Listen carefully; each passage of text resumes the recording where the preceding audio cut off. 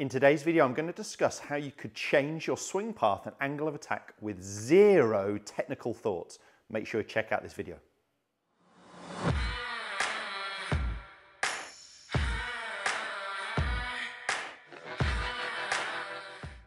Welcome back to the TruGolf Academy. You've joined me, Jon Watts, today in the studio. And today's video, as I mentioned there in the intro, is all going to be about changing your swing path and your angle of attack. And this is going to be with zero technical thoughts, just focusing on the tilts in your neck.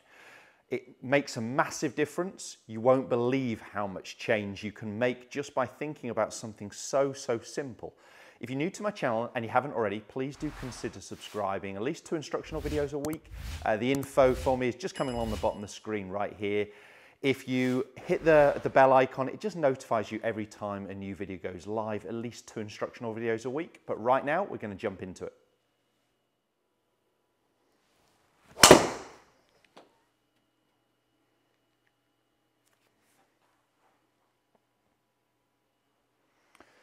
So the purpose of this video is going to be about how we can tilt our head to change our swing path and our angle of attack and how that's going to differ with different clubs. And it sounds technical and it's really not. So this is going to be zero technical thoughts, zero swing changes, just how the tilt of our head is going to affect, as I said, our path and our angle of attack.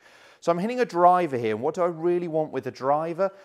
For your average golfer, we want a positive angle of attack. We want to be striking upwards on the golf ball because we know we can gain some yardage from there. Whereas with our irons, and I'm going to demonstrate actually into something a bit shorter like a wedge, we'd like a little bit more of a downward angle of attack. So tilting our head differently could start to affect that for us automatically. So let's jump, start with the driver as I've got that in my hand and let's just peg one up. That shot I just hit there Definitely got the angle of attack up, definitely got the swing path in to out to the right of the target to hit that draw shape. Just left the face a little bit open, but I was 3.3 degrees on the way up and 1.2 in to out. Okay, so I created an in to out draw path. Uh, I created an upward angle of attack. I just left the face a little bit open, hence it staying at right to target rather than drawing back. So slight push. What I was trying to feel was in setup, once I was ready to go, I was just trying to tilt my head almost so my right ear is a little bit lower. Uh, left ear, lead ear, closest to the target works a little bit up. Effectively tilting my head away from the target. What that's going to help me do is actually set myself slightly behind the ball, help me create slightly more of a into out upward angle of attack, but it's also going to help me create a bigger shoulder turn. And I'm going to explain that. So as, as I tilt my head away from the target, I'll be able to actually make a bigger wind up behind the golf ball, so a bigger coil up behind the ball. If I had my head more neutral, or let's go the other way and actually tilt our head more so our head's going towards the target, so our lead side is low, that's really going to help me stay more over the ball, but it's going to limit my shoulder turn. So that may be good when we're trying to take some distance off the shot and create a downward angle of attack, some more in pitching. With a drive, we want to hit up, we want to create power, we want to create um, an into out path, ideally to hit that draw shape. So tilting my head away from the target, increasing my shoulder turn, help me turn behind the golf ball and create all those things we really want with a driver. Now, there's another thing we could do with our, our head. We could actually just try and feel like we get our trail ear, so our right ear for right-handed golfers, slightly nearer our trail shoulder, so our right shoulder. That's going to actually help point my shoulders and my body a, a little bit more to the right of the target, again, helping me create that into out path. So let me hit one more drive. And I'm definitely tilting my head slightly away from the target, almost so my right eye is lower to the ground, my, my left eye, and that's gonna help set me behind the ball and help me create a bigger coil, a bigger shoulder turn. So it feels like I can just turn at least to 90, beyond 90 and behind the golf ball with that. And if I'm trying to create more of a draw path, let's go for slightly more into out than 1.2. I'm just gonna feel like I pull my trail ear, my right ear backwards a little bit. So I'm actually creating a tilt this way and a slight turn of my eye line more to the right of the target as well. So set up, tilt, trail ear slightly back. So I feel like this is going to help me hit up and more into out. So a higher draw flight, got that one a little bit too much, but bending more right to left. This is where I'd experiment on the driving range and see what's right for you, depending on the shot you want to hit. You know, if it's a dog leg left, that's a pretty good shot, a pretty good ball flight.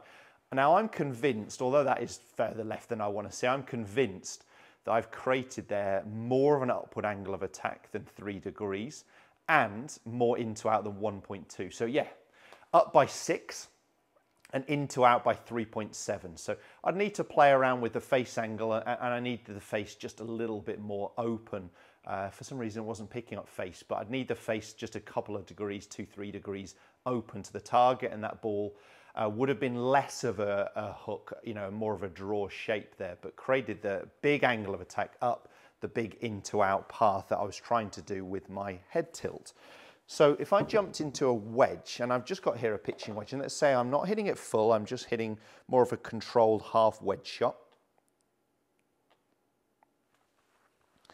I wouldn't want as much tilt here. I wouldn't want my trail shoulder sitting as low.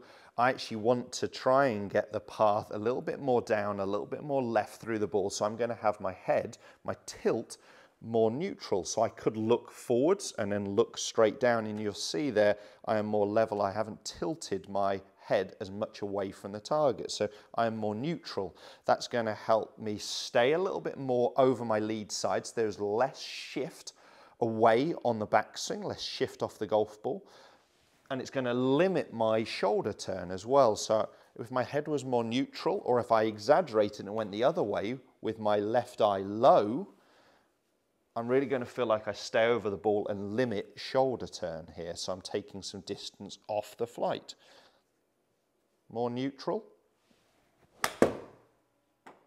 Got a more downward angle of attack into the golf ball and felt like I would stay a little bit more over my lead side. I'm sure if I measured it, there is a shift of pressure towards my trail side, but there's less of a shift than there would be with a driver. So the big thing on this one is What's right for you depends on you, depends on what shot shape you're hitting, what shot shape you want to hit.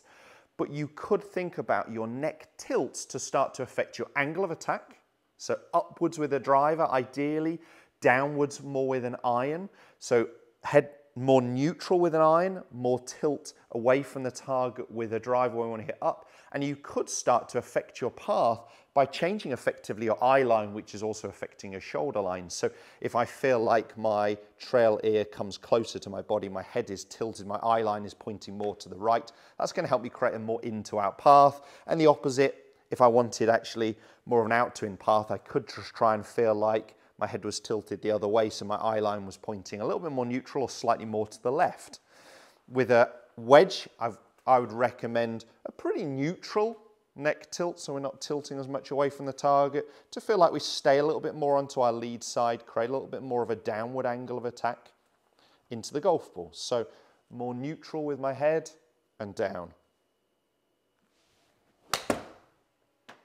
Downward angle of attack into the golf ball. Let's hit one more drive and just show you that difference again.